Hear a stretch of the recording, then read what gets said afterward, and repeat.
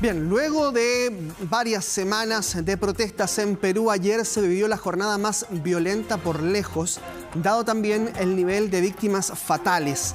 18 muertos es lo que se contabiliza solo en un día en diversas zonas del interior de Perú, pero especialmente en la zona llamada Puno. El bastión de Pedro Castillo, bastión electoral, y que se rehúsa a que Dina Boluarte siga siendo la mandataria en ejercicio.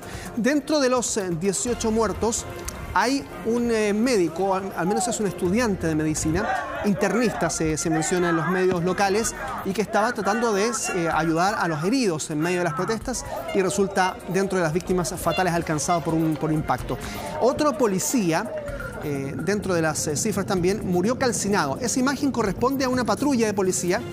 Los manifestantes la dan vuelta, comienzan a incendiarla y uno de los policías que estaba dentro lamentablemente murió calcinado dentro de los eh, hechos más lamentables en estas protestas que se han ido intensificando en su violencia, eh, donde hay también responsabilidades eh, mixtas, porque eventualmente, claro, los manifestantes no se conforman con aquello que ya está votado en, Lima, en el Congreso, que está ratificado incluso por tribunales que tiene que ver con, con Dina Boluarte, pero más allá de eso, también la represión policial parece ser tan intensa que, ha, permitido el descontrol también de los manifestantes. Es decir, la respuesta policial también está en entredicho por estas horas en medio de bloqueos de carreteras. No se puede llegar a estas zonas, no se puede salir tampoco de esos lugares. Em, Perú está incomunicado desde el interior hacia el exterior, prácticamente en diversos puntos debido a esta situación muy crítica que vive ese país. Sí, absolutamente caótico lo que se vive en algunas zonas de Perú.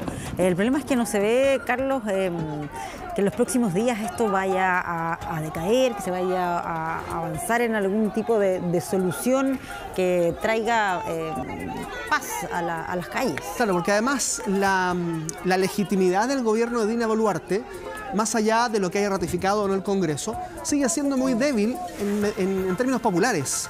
Eh, cuesta mucho eh, creer que este gobierno tenga tanta solidez todavía, debido a, también la sucesión de gobiernos interrumpidos en Perú uno tras otro por temas de corrupción. Es decir, sigue siendo muy crítica la situación eh, social de este país, especialmente del interior. Declaraciones del primer ministro de Perú, quien culpa a golpistas por las muertes, especialmente en Puno, en la ciudad de Juliaca. Se aproximaron al aeropuerto y aproximadamente 2.000 de estas personas iniciaron un ataque sin cuartel contra la policía.